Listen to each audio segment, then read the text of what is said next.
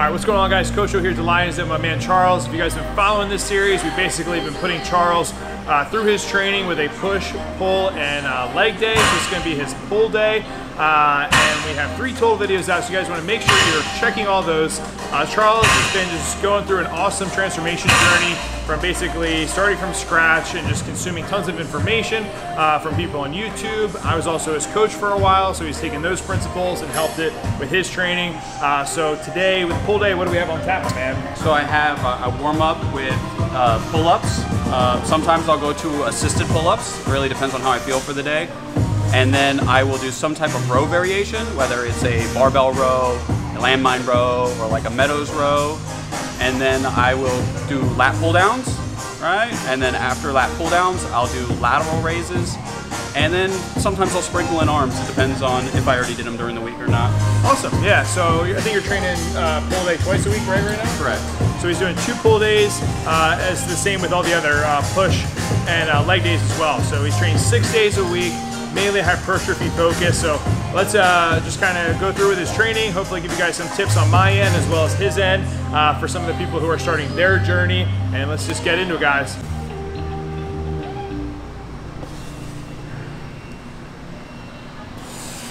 That's it. Come on.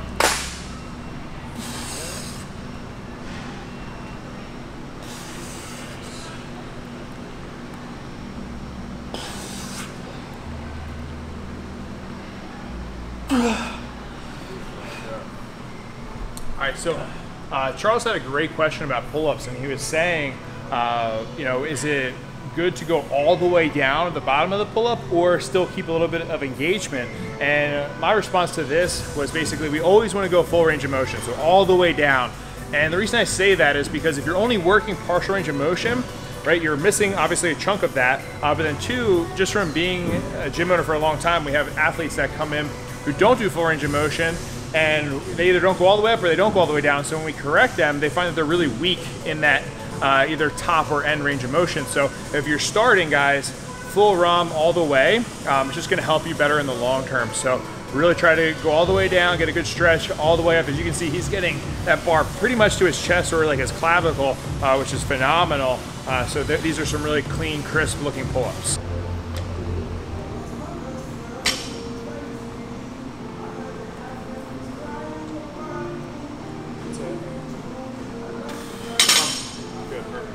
Pull-ups great exercise, just warm up, uh, get primed up for this next exercise, which we have a bent over barbell row. So Charles is doing. But he's got these crazy contraption things in his hand.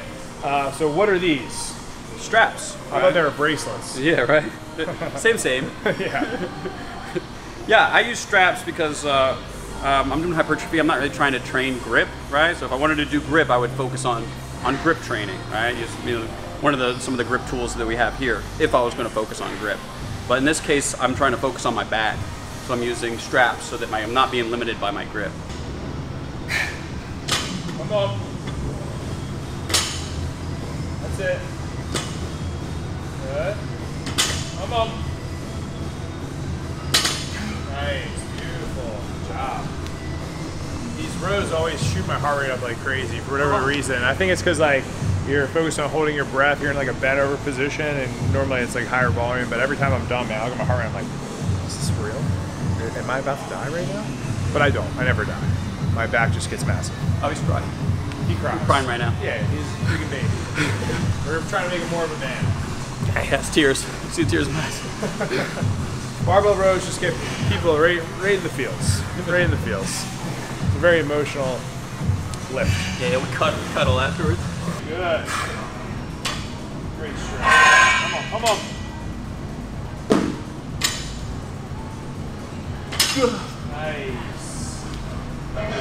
You, you find uh, with rows, it's like super easy to know when you've hit the right RPE. Like for Yeah. me, like I know like I won't be able to touch my chest, and it's like done. You know, I feel like that with uh, rows and like shoulders for some reason. Yeah. Like the two muscle groups, it's super easy to just know when like you perfectly hit where Yeah, it's a whole lot of nope. Yeah, Yeah. I get to nope, especially right now. I hurt, I pinched a nerve in my neck doing curls because I'm me, and that's what happened. That's cool. I tore my, tore my bicep doing curls too. Ha ha.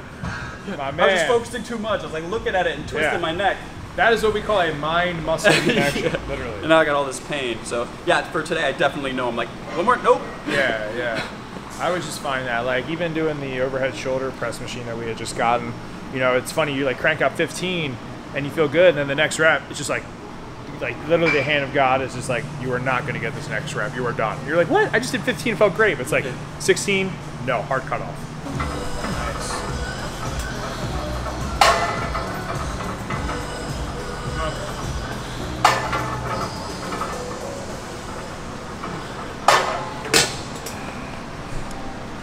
All right, so first of all, you guys know we're a huge fan of these grips. They're basically the Magpul grips, but or not Mag. I think it's just Mag. Magpul is a gun brand, but uh, Mag.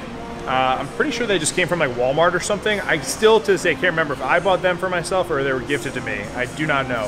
But what's nice about it is you can see it kind of has this uh, triangle, and basically what that's also allowing us to do, on top of having a really good grip, is letting us get a little bit extra range of motion there. So We've been a huge fan of these. We have all different attachments, close grip, wide grip, uh, different hand placement grips, and it's just a great tool to have uh, if you can when it comes to back training or using a lat pull down.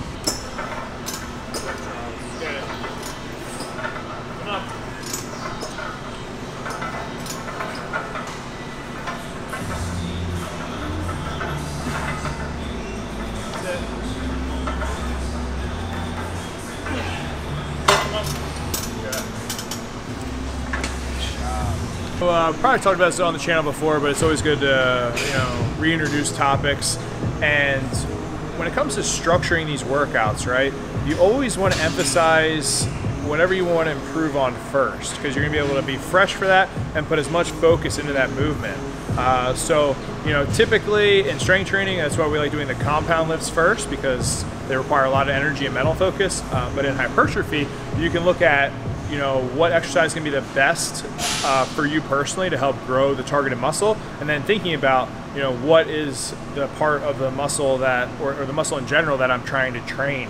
Uh, so that's kind of like for you guys to figure out on your own uh, but if you're really trying to work on your lats right maybe starting with like a lat pull down or a wider uh, grip variation uh, for any sort of pull down or row is going to be you know best bang for your buck versus starting off with like a narrow grip variation, if that makes sense. So when you're looking at your training, it's like, okay, what do I really want to work on? What are those movements that can help me do that? And then I want to structure that kind of first and then get a little bit less specific or hit the, the, the minor stuff later in the training. Come on, come on.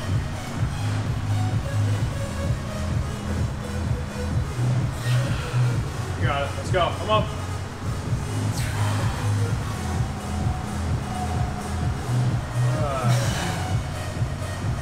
Come on.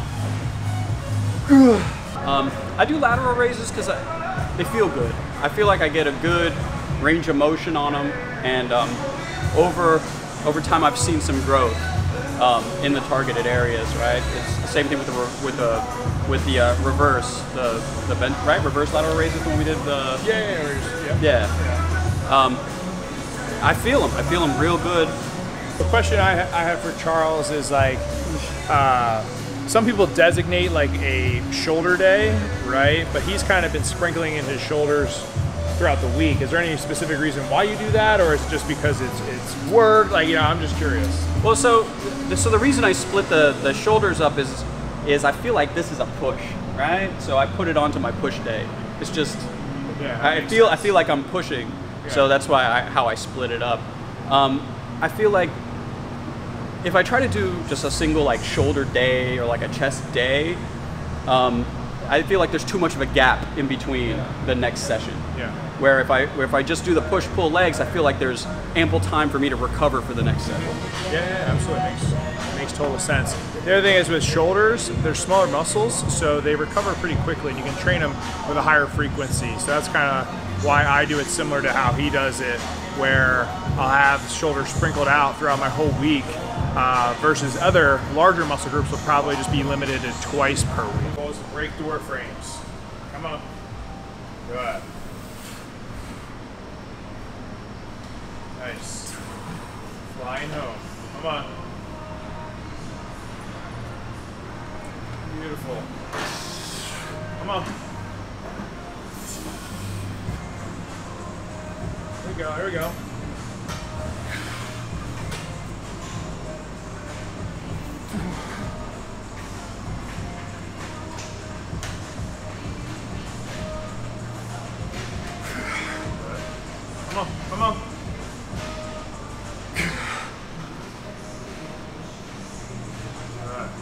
Nice, dude. No. So with uh, with shoulders, so everyone's probably watching. They're like, "Where's the right range of motion for this exercise?" Charles is going up here. Sometimes people will go to here, right? Once again, right, you got to find that in between answer of what works best for you. Uh, sometimes with shoulders, I find that I get uh, like some trap uh, activation there as well. Uh, but my thing is like, what's the worst that happens? I get too jacked, my traps get too big, and my shoulders get big. Like, this is a problem I'm okay dealing with. Um, you know, but if you're trying to limit that, you know, maybe relax those traps, kind of like depress uh, the scapula down, and then just focus on more of a, a side delt. But with him, like, you know, I don't see anything wrong with what he's doing. He's going to get a great stimulus from these, really build in the shoulders, the traps, a little bit of the upper back. Um, so I see no problems with that. Current inspirations is Bajheera. He's uh, he's a World of Warcraft player and Twitch streamer and uh, and YouTuber, and he's overall amazing guy. Natural pro bodybuilder. He's consistently like the top warrior in World of Warcraft in the arena for years on end. And he's just a good guy. He gives a lot of good advice on nutrition, a lot of good advice on lifting. You can watch his stream on Twitch often, and he'll answer questions and go through and kind of show you it doesn't have you can switch up exercises when you want right? You can be loose on things and not worry as much. Kind of takes some of the stress away which is nice.